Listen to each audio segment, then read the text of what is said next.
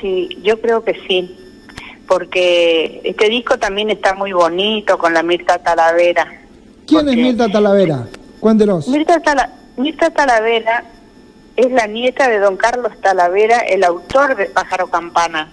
Ella nos cuenta la historia que Pájaro Campana es de su abuelo y que don Félix Pérez Cardoso le dijo, vamos a poner el nombre suyo. Le dijo el hombre, no, yo no soy músico conocido, ponga usted, que usted es uno de los mejores artistas, y bueno, yo le, le cedo que ponga como si fuera suyo.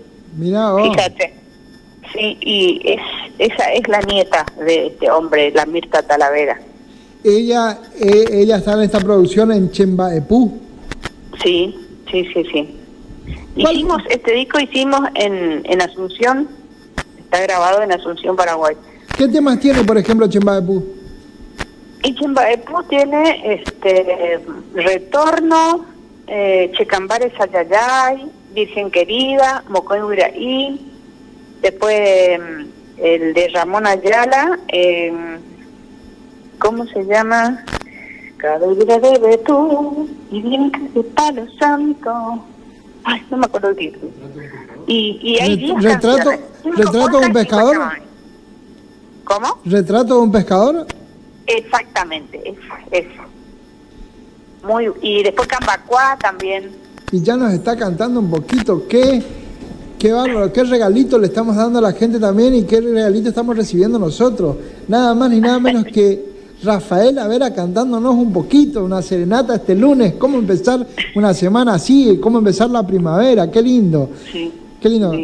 Feliz primavera para toda la audiencia, Carlos. De, esto, de esto también habla su carrera, porque las veces que nos ha tocado, tanto acá en Ituzaingó como en otros puntos de la provincia, eh, llamarlas o convocarlas para una nota, siempre dijeron que sí, nunca se negaron, nunca tuvieron un pero, siempre, siempre estuvieron para, para con nuestro trabajo. Así que de esto también habla este premio.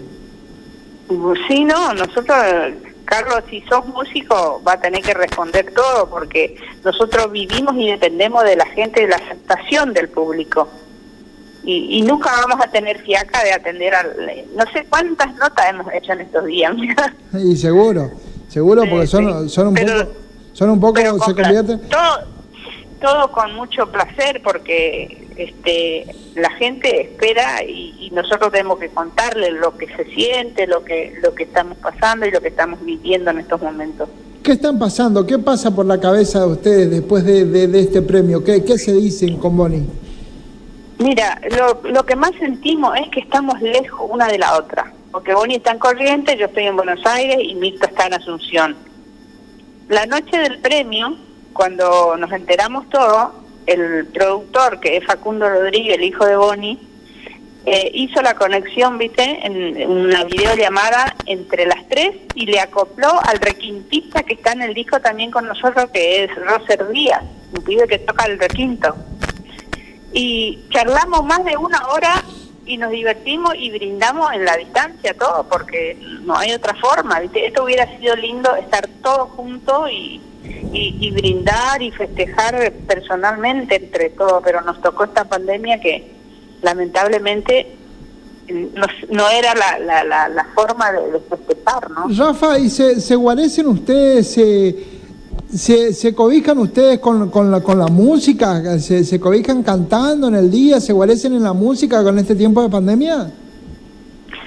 Y yo por mi parte siempre saco mi guitarrita y ensayo, busco canciones, y le paso a Bonnie, le mando con, por WhatsApp para que se fije, para que le, haga la segunda y así, siempre estamos ahí. Claro. Pero es lo mismo, ¿viste? No, no, seguro que no.